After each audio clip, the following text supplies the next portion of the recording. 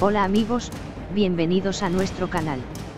No olvides suscribirte a nuestro canal, activar las notificaciones, comentar y dar me gusta para apoyarnos. Estamos aquí con el episodio 363 de nuestra serie de seguridad. Se ha estrenado el nuevo episodio de la serie Emanet.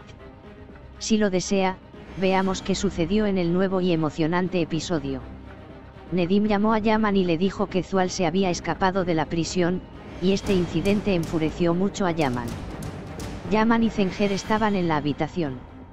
La mentira estaba muy enfadada. Zenger y Yaman hablaron un poco sobre este tema. No le hablarían de Zual a Sihar. Pero Zual ya había conocido a Sihar. No le iban a contar esto para que Sihar se sintiera segura. Ali, el comisionado, y Duigu, el comisionado, llevaron al comisionado de Volcán al hospital. Habían entrenado a Volcán justo a tiempo. La enfermedad del volcán estaba muy avanzada. Fue a la habitación de Sihar Yaman. Sihar estaba en la puerta y se dijo, no tengo más remedio que preguntar.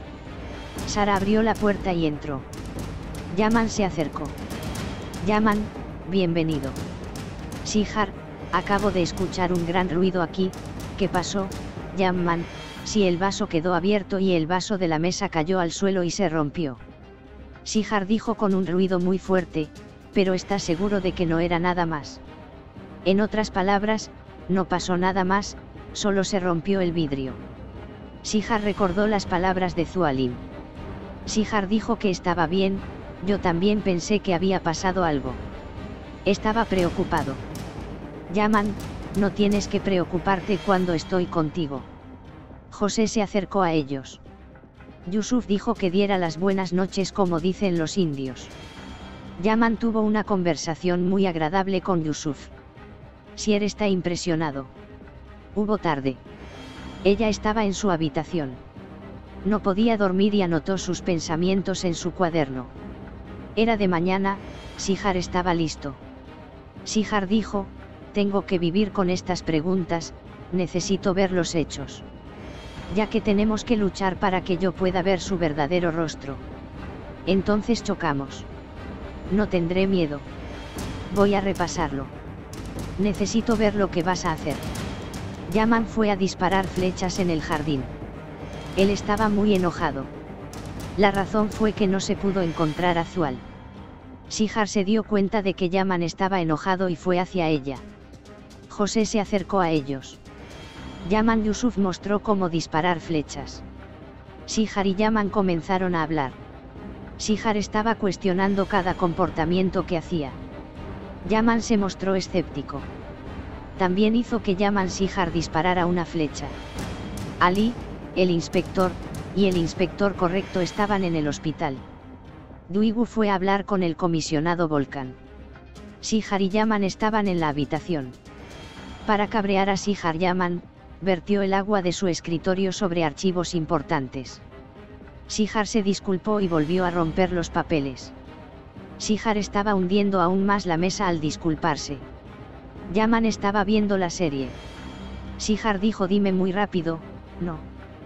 Yaman dijo, sí, estaba enojado, pero estaba enojado porque estabas tan molesto por esto. Ninguno es tan importante como tú. No es importante para ti. Sihar, lo siento, me iré. Sihar se ha ido. Ali fue a hablar con el comisionado y el volcán. Sintiendo, el comisario estaba en la puerta. La persona que podía ayudar a salvar a Yasmin había huido. Estaban tratando de ponerse al día de nuevo. Estaba sentado en la habitación. Fue entonces cuando ella acudió a él. Justicia trajo café. Sihar dijo, ¿por qué estás bebiendo café? Como dijo mentira. Sihar, leí en la última revista que los que beben café amargo son duros, despiadados y sólidos. Tú también. Yaman bebió el café endulzado de Sihar. Yaman no estaba acostumbrado a beber esto.